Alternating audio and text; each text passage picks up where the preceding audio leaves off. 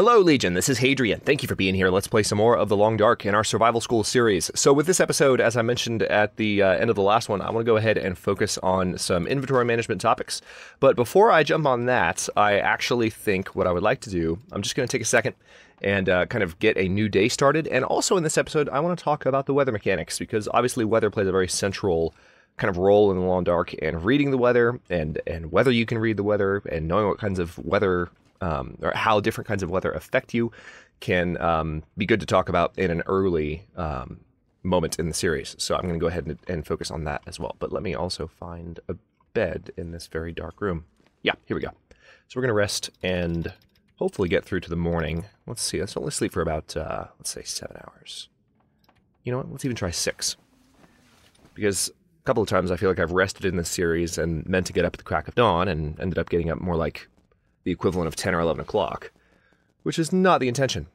Oh, hey, we've got an aurora. I'll take it. I'm going to step outside at least and see how things look.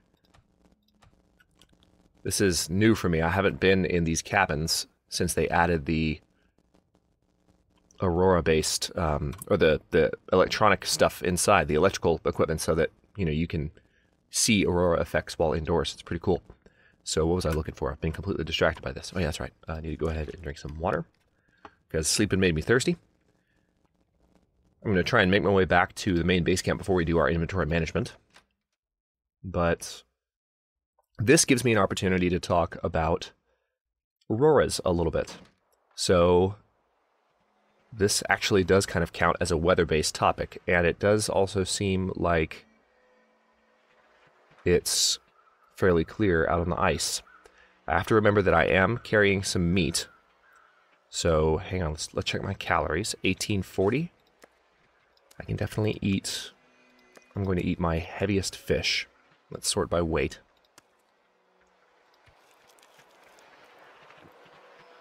Let's just get rid of a little bit more food. There's some inventory management for you right there. Just again, always make sure you're eating your heaviest item first. So auroras, yes, are very pretty and they're a great time to explore. All right, there are some wolves, and I feel like one of them is turning toward me right now. I feel like actually two of them are turning toward me. See, this is what I mean. If you can't see them, they're, they're both right there. They both turned around the same time, and they're headed towards where I was. Uh, actually, no. Maybe those are just natural movements. But the point was that the, the point is that they were they were moving towards where I was standing. So um, with Aurora, they're very nice and they're very pretty, and they can illuminate the sky at night. They can illuminate indoor environments at night, especially those that are replete with equipment of the electrical variety. But uh, unfortunately, they do also supercharge the wildlife a little bit. I mentioned in episode one that you can have Aurora charged bears. You can have Aurora charged wolves. They start glowing green, they get meaner, they get uh, more powerful. Well, they don't necessarily, I don't think, change their hunting behavior. So maybe they don't get meaner, um, but they definitely, uh, when you engage them in a fight, they will do more damage to you. They become stronger. So you do have to be careful. And thankfully, it seems like even though those two wolves are pretty close to me, see, they turn towards me again. I feel like they are trying to stalk me. But I got by them, is the key point. So a little bit of uh, little bit of feedback information about uh, about Aurora there. What what else about Auroras? Auroras are a newer addition to the game, so I want to make sure that I can cover what I need to cover. In certain places, auroras can actually uh, make the environment more dangerous in that uh, if there are any electrical wires laying around, uh, if you stand on those spots, or if you get near those spots, you can actually get a new type of injury, which is a um, an electrical burn. You can, you can get a, a burn from uh, and they can do a ton of damage to you uh, if you find yourself in that situation. So you have to be quite careful if you're in those environments with the sparking wires. They are not simply props or they're not simply decorations when the wires start sparking. Stay the hell away. And I don't think most people would, would interpret it that way because they I think the game kind of presents the, the wires as menacing and you can tell that they're they're spewing some uh, some harmful energy. But just be uh, be mindful of the ways that the environment can become simultaneously more breathtaking and uh, life threatening in the same moment. Oh, wow. Yeah, this is going to be cool to walk back into the camp office and see the, the lights here as well. This is a treat, I'm sure, for those of you who have never seen the Aurora in this original Mystery Lake location, by the way. Because they did add a lot of stuff recently. And actually, I'm not even going to go inside yet because I want to step up and see what the lights along the railway look like. This is perfect, too, because I was going to begin the episode talking about weather and then spend, like, maybe the last 10 minutes talking about inventory management. I do need to put a few things down though, so maybe we'll kind of split the, the episode back and forth between the two topics. Oh, this is so awesome. Look at this. This is what I want to see though, is what it looks like out here. Oh, these are... Okay, these have a slightly different effect on the land than I thought they would. They're kind of spotlights as opposed to as opposed to uh, floodlights. I wonder what they look like farther out though. I want to be able to just look down the tracks. I do want to watch for wolves, though, because I would hate for an Aurora wolf to sneak up on me right now.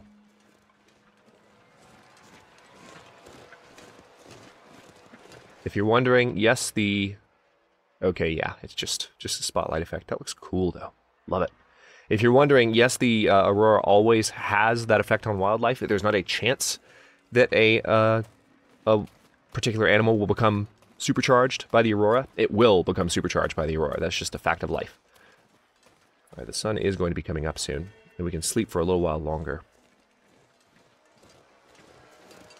One thing I'm going to do, though, before I go anywhere, because this is an inventory management piece that's worth knowing early on, and I had someone ask me about this. So while we're outside, I'm going to stand right here. Standing over the snow. This could change in future versions of the Long Dark but for now, well, what I mean by this could change is uh, what, what I'm about to do could, um, these items could be more, more vulnerable to wildlife finding them in the future. But right now, they're pretty impervious. If you want to keep your meat, whether it's raw or cooked, at a very high condition, you can actually leave it sitting in the snow, and its condition drop will reduce dramatically. This is particularly true with items that need to be refrigerated in any way. That typically applies to, you know, meat. So you can do that not only to save some weight and not carry around that meat all the time, but also to keep the condition from dropping on your meat, whether it's cooked or not. Handy to know, right? Let's go ahead and sleep for three hours. That should fully recover our exhaustion, or close to fully, and also give us a brand new day. Very good. All right, so the aurora is, of course, over. The aurora can sometimes still be affecting you at like the beginning of a day, like at the dawn, but the moment it is fully daytime and no longer night, the aurora will always go away. So let's uh, let's talk briefly about inventory management before I leave and uh, start talking more about the weather because we're going to need to, frankly. I'm going to step back out here. See, condition is still 98%, whereas if you had put these in an interior container or put them down inside, their condition might have dropped a little bit more. And I may show you that later on in the episode. But for now, I think I will just eat one of them. Again, the heavier of the two. That's one of the foremost inventory management things that I do, is that when I sleep, I will um, or when I eat, I will have my food sorted by weight, and I'll make a decision on what I'm eating based on how many calories I need to have in me, and also the weight of the item. I will tend to go through my sodas pretty quickly because sodas give me both, you know, calories and they replenish thirst, but they also are half a pound each. So drinking them quickly will help reduce your burden uh, faster than usual. So what else? I guess I do need to drink a little bit more. Speaking of that, let's go ahead and drink that soda. That'll top off our hunger pretty much. Again, not necessary to keep these meters, you know, nearly full. One of the reasons that I am doing as much as I'm doing now is I'm trying to reduce what I'm carrying. So next order of business, again, when you are looking at your inventory, you can start by sorting everything by weight to see what's the heaviest. And we're carrying a ton of books. That's where most of the weight is. So sometimes the culprit really comes down to just one thing. And when it comes down to one thing, you really just have to ask yourself the very simple question of, well, how much of that one thing do I really need? Like, do I do I need to have that many books on me? And the answer, of course, is no. So I'm probably going to get rid of all but two. Books, again, are great fire starters, but they are they also, you know, weigh a lot. So that's the kind of thing that you can put down relatively quickly. But when it doesn't come down to one thing, you can actually sort everything you know, by you can go through the individual categories again and see which ones are really taking up a lot of weight. Another thing that I'm carrying that's really weighing me down is I have all these extra antiseptics in my uh, medicine category, and that is more of a situation of do I have enough old man's beard, you know, to to put this stuff down? And in this case, what I'm going to do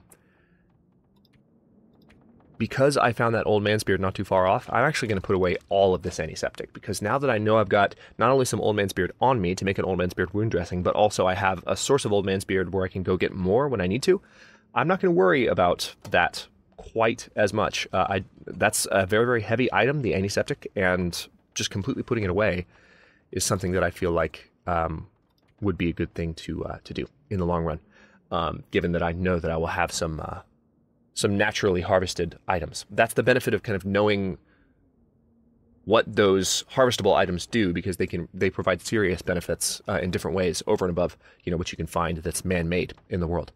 So I've also got a number of papers I mentioned in the previous episode that I need to work on these and make some tinder. But to tell you the truth, I'm also going to drop this stuff right by these books. This is something typically you would do in a yeah. See, I've got some additional books as well. Hang on.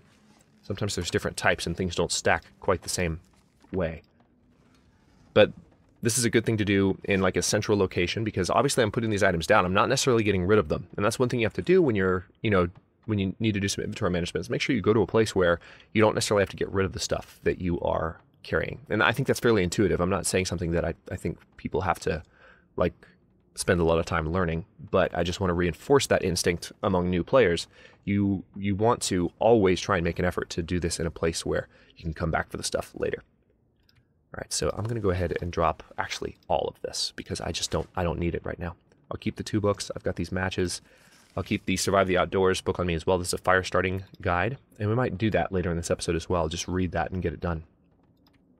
All right, now I also have some items here. Um, I'm going to go ahead and put these trail boots down since I'm at a central location and a base that I know I will come back to. I'll put the boots up in an obvious location so that I don't forget about them before I leave.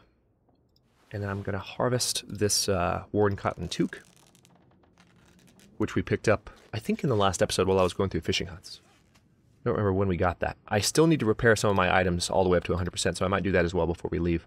But another thing I'm carrying that's some extra weight is I have an extra bedroll. And that's really going to give me a lot of cloth. When you find that extra bedroll, you'll you will almost always harvest it for the reason that you're seeing right now. Because it's just so much extra cloth and it's amazing. All right, so obviously we've done a lot better for ourselves with our inventory just by looking at a few categories to see what we can fix. Let me go ahead and repair these uh, decent insulated boots. We may actually have to uh, spend this day repairing stuff. We'll see. So when repairing, it can be good to sort items by condition so that you have the lowest condition items first. Again, the only caveat there is that sometimes you'll want to repair not necessarily the item that's first in the sort. You'll want to repair something that's first in the sort and also on certain parts of your body. For instance, I'm going to go for these jeans first because I know that repairing the items that I'm wearing on my torso or my legs, those have the most effect the strongest effect on my condition improvement. I'll get to the stuff on my head a little bit later. Also, I need a drink. So let's go ahead and do that. Actually, I will eat this tomato soup because tomato soup does actually replenish thirst a little bit now. I feel like a few patches ago, tomato soup did not do this. I feel like for a while it was just a calorie benefit. But hey, I can't complain it's good that I can do that. So, water is one of the things that will weigh you down the most. So, just knowing how much, even just half a half of gal- half a gallon or half a liter of of water um, weighs is is really really useful. And I'm almost done with my sewing kit. Again, I can use fishing tackle to repair stuff as well. So I'm not completely out of luck, but that's a good thing to be aware of. Let me go ahead and repair these toques. So the sewing kit might get ruined after this one, gone. We'll talk about what to do with ruined items in a second, but we still have the sewing kit or the uh, fishing tackle. And by the way, last episode when I when my fishing was stopped short unexpectedly, I had one of my very regular commenters point out to me that yes, indeed, it that happened while I was talking and I didn't hear it. My fishing tackle did break, which of course can happen anytime. So you might be wondering to yourself, well, what happens when you run out of hooks and, and line? You know, what do you do? The workbench crafting, which we haven't gotten to quite yet, but we will in the next episode or two, um, is a completely different category, of course, from the crafting that you have in the on the fly menu that we've already looked at. So I'll show you what I mean in just a second.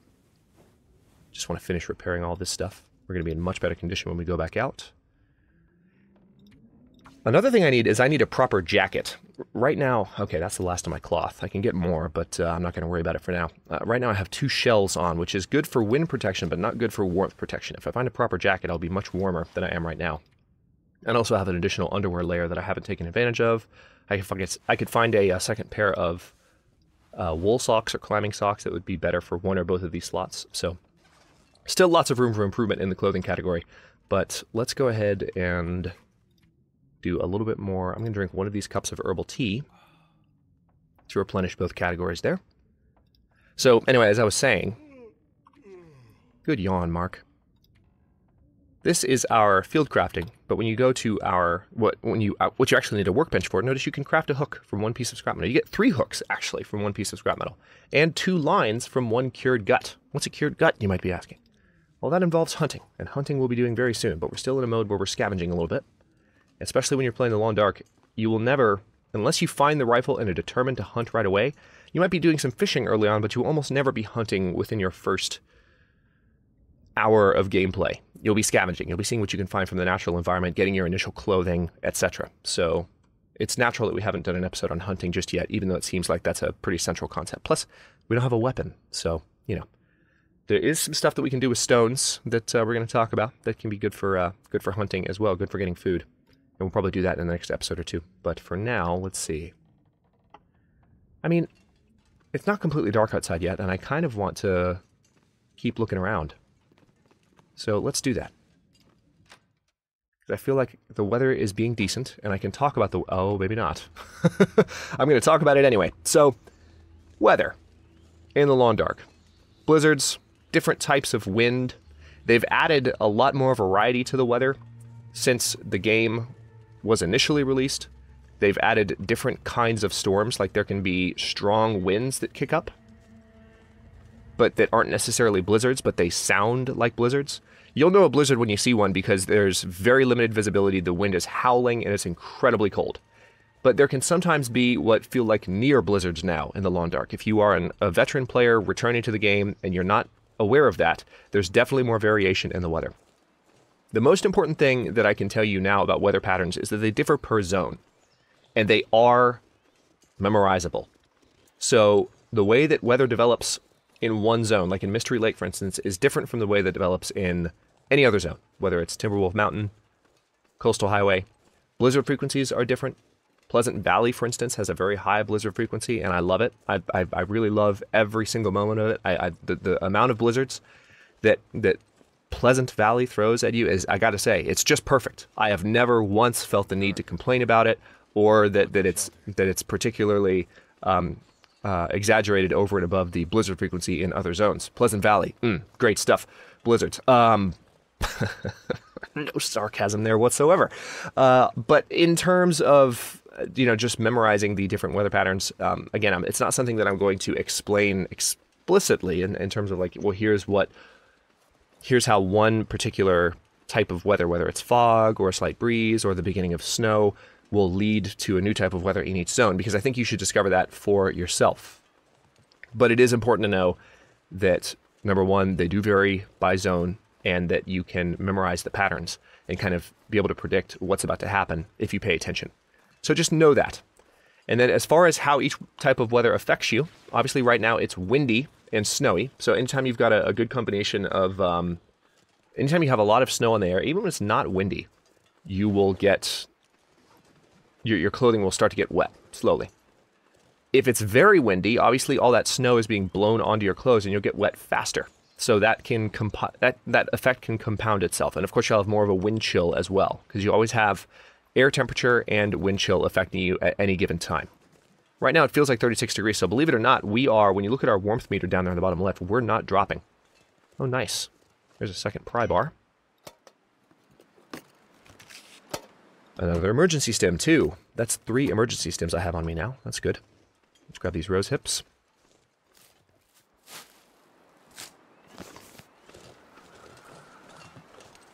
Alright, so it actually seems like the weather's calming down a bit, which is nice. I do want to say that I don't mean to suggest that the weather always follows the exact same pattern. Right now, I mean, honestly, what you were seeing could have transitioned to a blizzard. But in general, there are patterns that are regular enough in each zone for you to detect. That is a deliberate change that they made to the weather several patches ago. So be aware of that. So anyway, yes, snow and wind affects you know you, you can kind of tell when when the weather's getting worse in that sense and you also have uh, your your clothing's wetness and whether your clothes are freezing to worry about. And as and beyond that we've seen the auroras. Obviously since the the seasons haven't been added to the game yet there, there have been discussions about um, more seasons and seasonal transitions being added to the long dark so rain is currently not a factor. There's only snow and different intensities of snow Sometimes, if you go out in the middle of the night, it can be very still. And even though there's no blizzard, it can be incredibly cold because you have, you know, kind of that cold front mentality where, you know, whenever you have, whenever you have a cold front moving through an area, the atmosphere is very, very thin.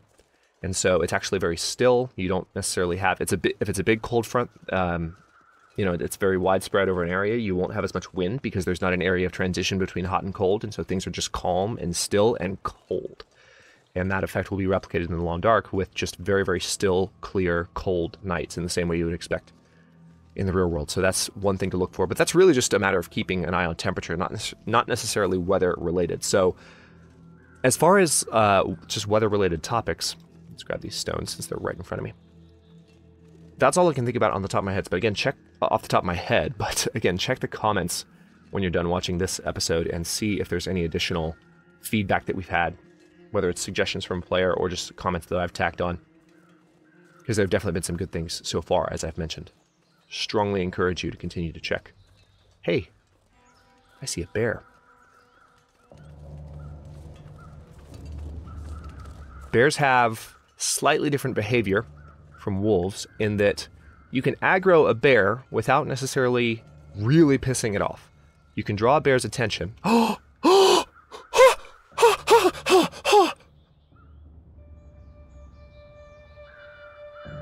Uh, okay. Um, never happened before. This is this is new. Uh, this okay. The survival school just got put on pause for a second. I've I've never. Uh, that's a moose. That's a moose, you guys. I don't know what happens here. Do, are they peaceful unless you piss them off? Do I have to worry about getting broken ribs right now? This would be a good teaching moment for all of us. But holy crap. Sorry, I'm really excited. If you if you're watching this series and you're completely new to my channel, this is probably the most excited you've ever heard me. But that is definitely a moose. Of course, I don't have a means of killing it right now, so we're just going to stare at its majesty and be happy. But that is definitely a moose. All right, I'm pretty close to it. Oh, all right, he's coming. Let's get in here. All right, so that was he took on a threatening pose. Interesting. Okay, so his behavior seems to be oh, his running animation is a little bit fast compared to his movement speed on the ground right now. I'm sure they'll tweak that. That's funny. But cool. All right, so that seems it seems like what happened there, and this is just a hunch. It seems like what happened there is that he that they'll threaten you if you get close. There's a crow feather because there's crows circling this corpse. They'll threaten you if you get close, but okay, he's still there but they won't necessarily charge you unless you continue to get close. All right, let's get this for firewood. And let me talk about this really quickly before I head inside uh, to, to this iconic little location we found right here. Um, deer carcasses. There are two different types of carcasses that you can find in the world when it comes to deer carcasses. They're the ones that are actually kills, whether a wolf has killed one in the live game world or you've killed one in the live game world, or a bear's killed one. But there's also the prop carcasses. These are permanent, they never go away, and when you find them, Actually, we're pretty warm right now, so I think I can I can get away with this right now. When you find them, I've got a hunting knife, so well, that's hmm. Do I want to skin this thing right now? It would take an hour and 11 minutes. It's 100% frozen. This is worth having a bit of a discussion about before we leave. When you find them, they'll only have a little bit of meat on them because they're prop carcasses. The, the, the game kind of gives them to you to have some initial hides and guts that you can use for some deerskin items, which we're going to start working on right now because we found this and I've been waiting for this. But uh, also, you do have to be mindful of the fact that when you're harvesting these corpses, the tool you use matters. The only tool I have right now is a hunting knife, but this is a 100% frozen carcass, which means the meat actually takes longer to harvest. As a matter of fact, because I've got so much food on me, I'm going to hold off on harvesting the meat. I'll come back for this because I know it's not going anywhere. I want to hide in the guts for now. We're going to harvest this. I'm going to keep a very close eye on my coldness meter. It looks like we're okay. Now again, because I have the hide and guts on me, I might attract the attention of that bear. The moose is still over by the cabin, which is not good, really. I'm going to try and step around him. Seems like we've got a little bit of a fog, but a little bit of moonlight as well. Very nice. It's so cool. We've encountered a moose for the first time in survival school. I, this is that was not an exaggerated reaction. I've never seen a moose before in the long dark. That was my genuine excitement of not only knowing that I was seeing it, but seeing it with you guys for the first time. That's so, so exciting. Yes, I know. For those of you who are more cynical and realistic and just, just grounded people, I get to see it, and then you guys saw it second. But the point is, once this episode's live, it's a shared experience. There's some rabbits. We can definitely do things with these stones, but we'll do them in the next episode. All right, we've arrived at the Trapper's Homestead. There's one thing that I hope in particular I find here. All right, I'm going to get low because I just don't want to... I don't want to make this uh, wolf angry.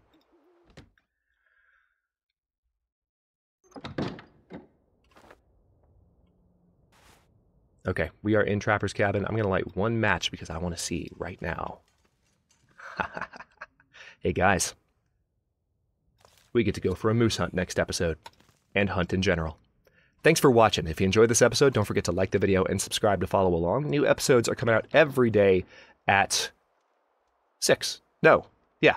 No, 3 p.m. Eastern Time. Long Dark is normally 6. Threw me off. 3 p.m. Eastern Time. Comments are always welcome. Let me know what you think. And I'll see you next time.